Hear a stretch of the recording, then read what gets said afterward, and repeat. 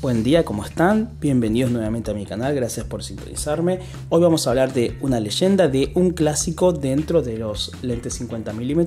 Vamos a hablar de el Olympus Suico Auto 51.4.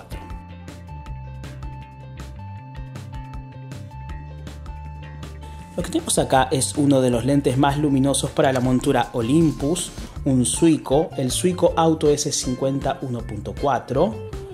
es un lente fabricado por Olympus para ser el lente más luminoso para la gama OM.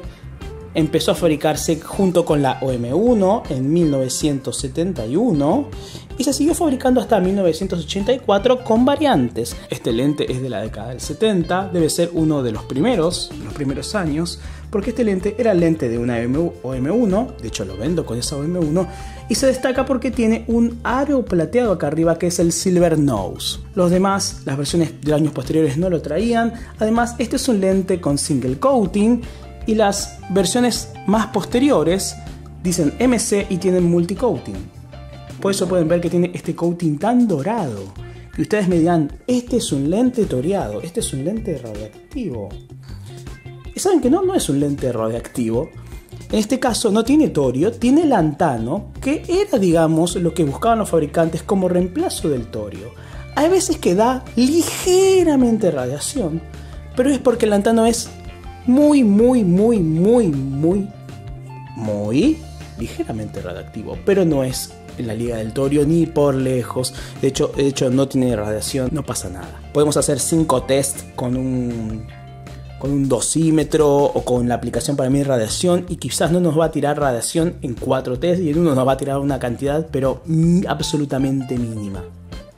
Lo que tenemos acá es un excelente diseño, 7 elementos en 5 grupos. Acá hay 7 vidrios en un lente que solo pesa 230 gramos y que es rosca de filtros 49.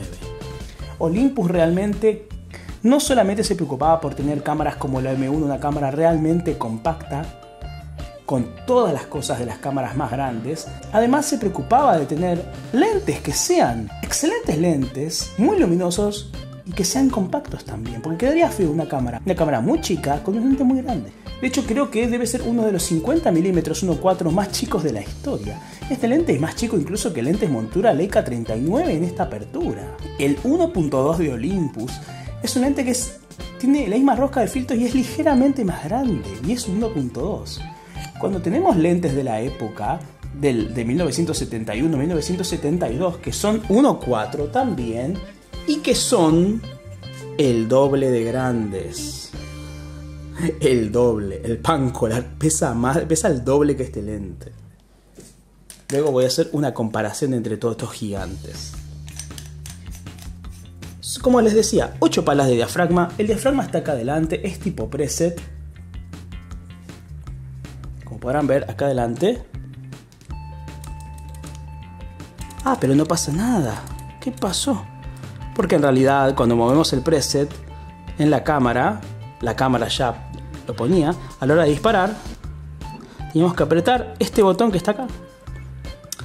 O sea, en la digital no pasa nada, pero si queremos mover el diafragma, es así. La cámara obviamente ya lo hacía esto. Yo aprieto el botón para mostrarles simplemente. Anda muy bien todo. El foco, el aro de foco es de goma, lo malo es que es muy chico porque el lente es muy chico y que está hecho de goma y que tiene esta tendencia a salirse. No está roto ni nada, pero con el tiempo esta goma dilataba y se salía. Y por más que la peguemos, se va a seguir saliendo porque está un poco más grande. Se tendría a dilatar con el tiempo. Este punto no era tan bueno de los suicos. Igual se puede agarrar el foco, no pasa nada. El foco igual, el foco en sí fluye bien. En ese no hay ningún problema construcción del lente es muy buena. Este en particular no tiene rayones ni nada, tuvo hongos, fue limpiado. Quedó quizás con un poco de suciedad, algunas que otras partículas, pero anda muy bien. ¿Cómo define? El 1.4 tiene, tiene un poco de, de glow también, tiene una aberración verdosa y un poco de aberración cromática violeta. Es un lente que hace honor, los suicos son todos buenos lentes Me gusta mucho, mucho, pero lo usaría más en dos.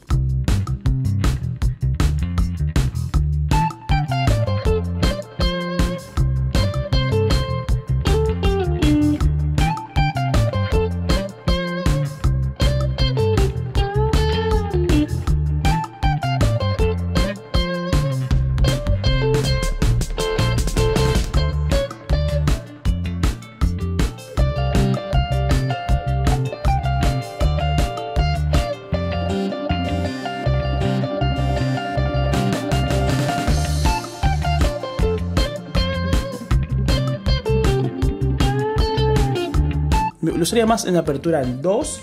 En 2.8 es espectacular la calidad que tiene, el color es muy bueno, el bokeh está muy bien también, son 8 palas. ¿Qué les parece? Realmente rinde muy bien y creo que es para mí una de las mejores opciones que tenemos para tener un lente chico. Si quieren una de las últimas versiones, capaz un poquito más recomendables con multicoating, pero para mí es la culmine de un 50 milímetros compacto y de una gran calidad. Este está a la venta con su cámara. Cualquier cosa me dicen. Les dejo un saludo muy grande. Les invito a que se suscriban, a que den like y a que compartan.